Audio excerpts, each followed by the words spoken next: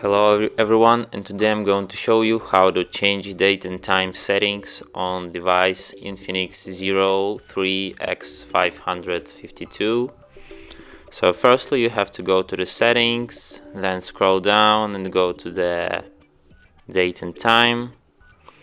Here in the automatic date and time you have to select off automatic date and time. And here you have can set your date. Here you can set your time. Also you can change your uh, hour format like 24 hour and 12 hour. And uh, you can change your time zone. Here you have all the list of time zones